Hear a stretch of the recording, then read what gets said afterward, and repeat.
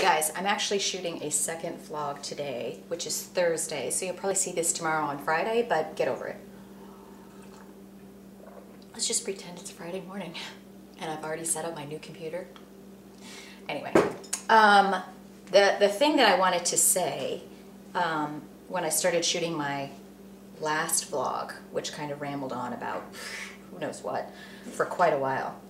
And I also forgot to mention this sorry, because my last vlog was kind of about kitchen stuff and food and getting all set up and organized for the new year. I have had so many of my friends on Instagram and just a lot of my Fitfluential girls that were, I've always heard everybody talking about this. And I'm like, what? Doesn't it just sound funny, nutritional yeast? I'm like, what? But everyone's like, oh, make the best stuff.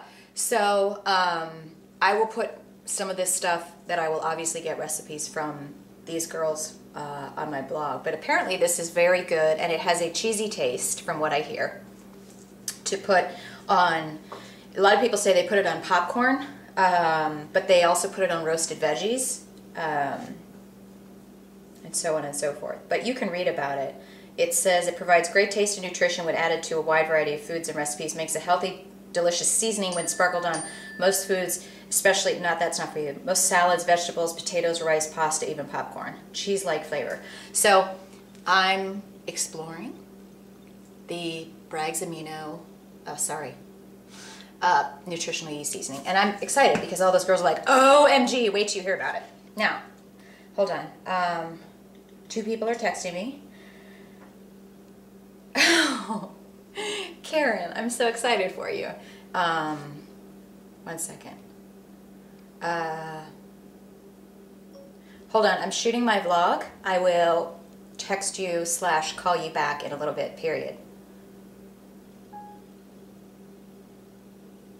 Okay, getting used to Siri. Okay, so um, what I, when I finish my, sorry, when I finish my workout um, today, which was kickboxing, I realized that I started to make this point in one of my last videos about you know, I kept thinking of that Beyonce song, if you like it, then you should put a ring on it. And I said, in the video, I started to say, if you like it, you should put, or if you hate it, you should put a name on it. And then I didn't explain why. why do you need to put a name on something you hate? Here was my point. I'm actually going to make a point, a, a salient point. Oh, that's good. Just kidding. I know you were thinking I was going to start talking about coffee, but I'm not. Um, there's two things that I do to help me push through my workouts and not quit and get the most out of my workouts. And I do, so I kind of, you might think this is really dorky, but it really works. Um, I have found that when, you know, there's, there's, uh, there's people in all of our lives that really get on our nerves for, for whatever reason. It could be ex-husband, ex-boyfriend, your boss, whoever, that really get on your nerves. It could be somebody that just doubts your your ability. Again it could be you know somebody you broke up with. It could be ex-husband. It could be a friend that you're not friends with anymore. Somebody that gets on your last nerve that you just can't stand okay? And you know deep down inside of us this this probably isn't like the reason I should tell you to work out. But yeah you know part of part of working out and getting fitter more fit is you know there's a sense of feeling good of like those are my abs you know so there's two th there's two beings or there's two personalities that I'm always trying to think of that when I'm in this part of my workout where I want to give up and I don't want to push through, I'm I randomly will think of like two different versions of people. And that's why I was saying if you like it, if you hate it, then you put a name on it whatever move it is that you hate to do, okay? Whatever it is that you hate doing, if it's, maybe you just hate cardio, okay? Maybe you hate doing chest and triceps like I do. Those are two body parts I don't like to train at all. It just, it doesn't rock my world. I could train back, biceps, now I'm getting into core again because my stomach's getting flat. Um, I love back biceps. You know I love me some shoulders. We're working on these bad boys. Um, whew, little sore, little sore still. Um, I love legs. I love glutes, hate chest and triceps. Hate it. So I will avoid that like the plague. Now, a lot of people don't like, um, don't like cardio. Whatever it is that you hate, in some way, think of the person that you can't stand in your life. Again, I don't care who it is. Maybe it's your boss. Maybe it's your ex husband. Maybe it's your ex wife. Maybe it's your ex best friend. Maybe it's somebody that you just can't stand at the office that gets on your last nerve. Okay? that's who you want to channel when you're when you're doing something you hate. So if it's chest and you're at that last set, you don't want to do it. I want you to imagine that, that person that you can't stand is standing over you and they're waiting for you to give up. They're sitting there with their arms like she's going to quit. She's going to quit. She's totally going to quit. And then you go, "Hell I'm not to quit. Watch this, mother." You know? And then you do like another set or you burn it out, whatever. So you bring out that if you hate it, Put a name on it. Think of that person. And whenever you're tempted to give up, and trust me, I've actually said these names out loud when I'm alone in my home.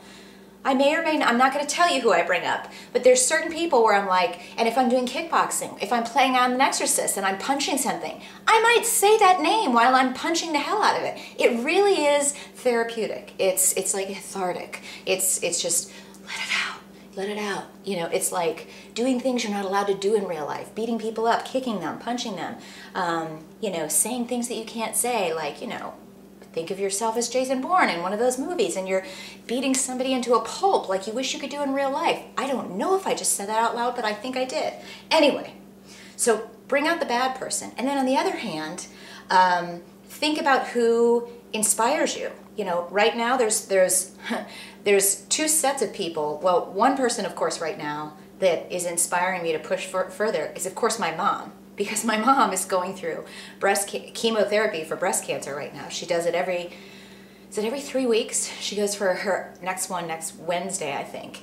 Um, and she's having to deal with, you know, she is somebody who likes to be out and about like me, and she has to like lay around and be tired, and she's frustrated. And so when I start to feel down and I don't want to finish my workout, I think of my mom because I'm like, really? Am I going to sit here and complain that I'm healthy, that I can go to the gym, that I can do cardio, that I have the energy to do this, and I'm not going to not do it? That's crazy. Um, you know, I am about straps. Just.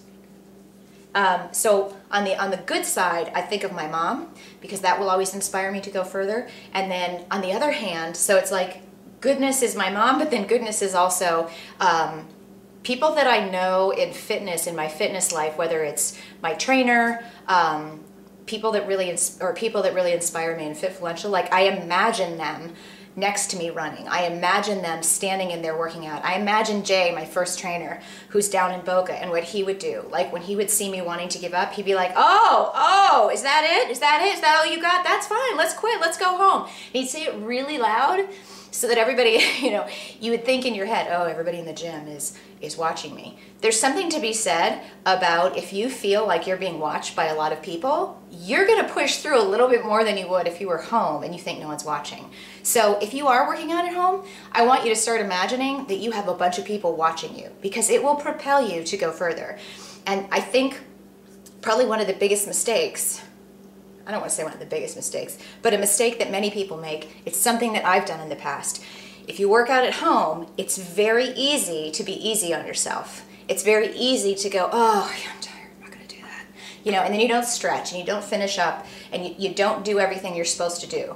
You need to start putting some imaginary things in place so that you feel like you're at the gym and your trainer is not going to let you stop. Or you're out at a, at a public class and it's it's out and you've got people that you know at your office walking by you know do you want to do you want them to see you giving up giving up and stopping soon? No. Do these stupid dorky things i'm telling you it works for me. You might watch this video go she is out of her mind. Of course if you watch one of my videos you probably think that. But it works for me and i'm just telling you like when i when i want to give up and i'm i'm doing you know the end of whatever my kickboxing dvd and i know that i'm supposed to kick you know, on this one move, there's three kicks. You're supposed to go low, medium, high.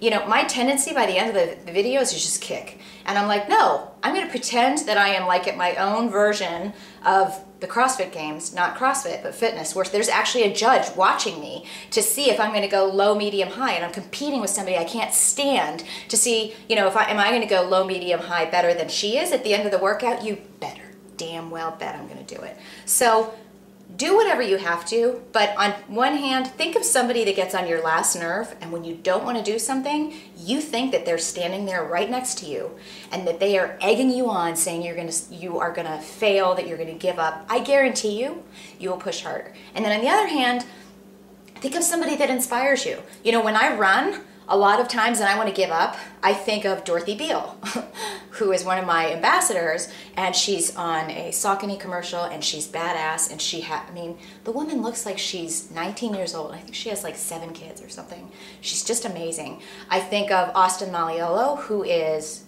one of like the greatest, most inspiring, just people I've met.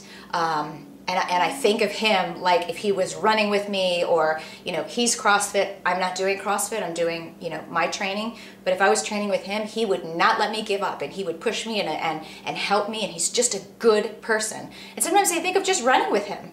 I'll just think or I might sometimes I think of 50 Cent running with me I'm not gonna lie. Um, because if he was running with me I'm not gonna stop. I'd be like come on. And um, Think of whoever you want.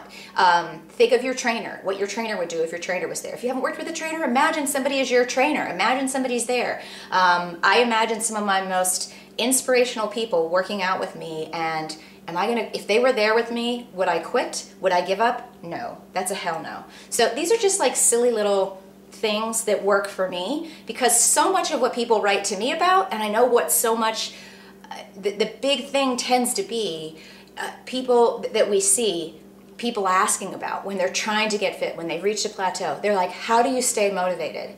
How do you stay motivated? How do you keep yourself doing the stuff time after time again? Accountability, and then do, you know, stupid little tricks like that. Make it fun. Do whatever you can that's gonna make what you do fun, and you'll stick to it. We're under 15 minutes, people. This is a bonus. I'll talk to you tomorrow.